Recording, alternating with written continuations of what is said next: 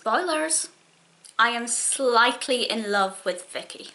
I really enjoyed the first season of Doctor Who, but the second season is just phenomenal. I'm so excited to be reviewing the second season today. I'm sorry it took me a long time to get around to it from doing the first season, but for me, completely worth the wait. So as usual, I'll just go through each serial very quickly because I don't want this video to be on forever. But if you have any more specific questions about my more detailed thoughts, feel free to leave them in the comments and I will very happily talk Doctor Who with you. So, Planet of the Giants, we're off to a fantastic start. They're back in the 1960s, but they're in miniature form. And everything is huge. They're like borrowers. And I instantly fell in love with this. I love the concept. I love the narrative development of this episode. And my first thought was, I want them to remake this.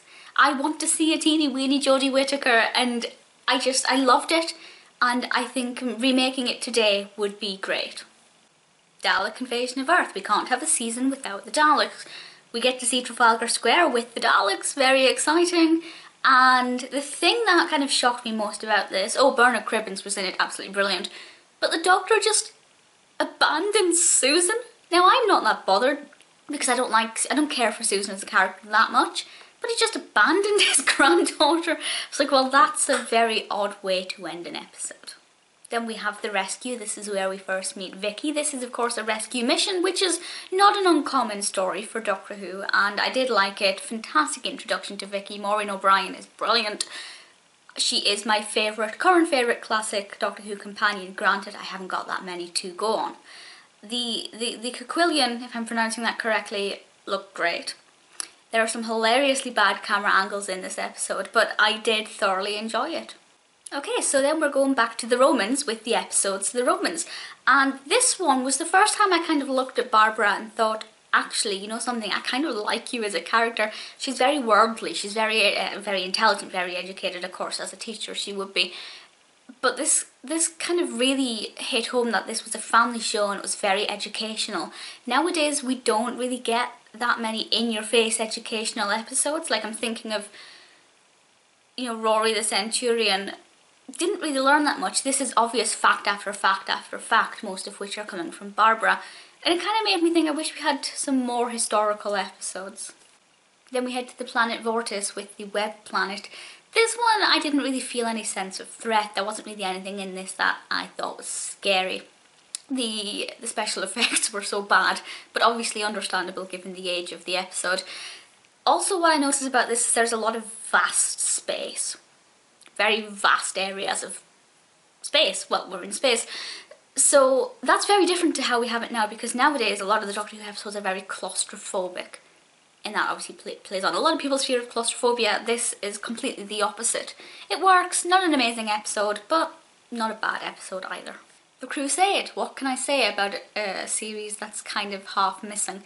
There are some reconstructions of this on YouTube and I did watch them, but obviously they're not as easy to follow as the actual episode. So fingers crossed, one day they will find all of the missing parts of the Crusade, but what I watched was great but not ex exactly as engaging as I expected the episode would have been. The Space Museum. How delightful! They're in a museum that's full of spacesuits and Dalek shells and it's very much like being inside a Doctor Who exhibition. That's what it felt like to me when I was watching it. This one was kind of the episode where I decided that yes, I absolutely 100% love Vicki. And also the Doctor was very funny in this one. You know, Hartnell's Doctor is great, but he never really felt like the doctors that I know and love as a, a new Who fan.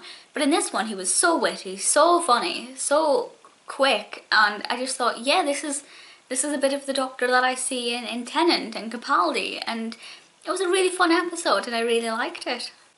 Penultimately, we have a bit more history. We have Queen Elizabeth and Shakespeare and the Daleks. Very thrilling combination. Obviously, we've visited Shakespeare before, we've had Queen Elizabeth since then, and obviously we've had the Daleks as well. Very thrilling, and there's nothing about it that I didn't like. There's nothing about it that would ever make it my favourite episode, but I love the subject matter, and for that reason I really did enjoy it. I definitely think we're ending on a high with the Time Meddler, and this is the first time where I've been I think properly invested in the narrative development of a, of a serial because with this one there's something that's revealed in I think the second episode, maybe the third, could be the first. Anyway, something's revealed and it did make me wonder, well, what? How, how did that happen? What's going on? It was the first time I actually felt hooked in with the story. Also, we have no Barbara and Ian, which for me is great because I really didn't like them. It's the Doctor and it's Vicki and they're a great team and I love Vicki. Back in 1066, Battle of Hastings, William the Conqueror, again, historical, educational, we're learning a lot, it's a great story, there's the, the ending really surprised me, which rarely happens with any of the predecessors for this episode. I thought it was a phenomenal ending to a really great season. Needless to say, I'm so excited to get on with season 3. I know I have many, many seasons left to watch, but with Classic Who I'm off to a fantastic start and I'm really enjoying it a lot.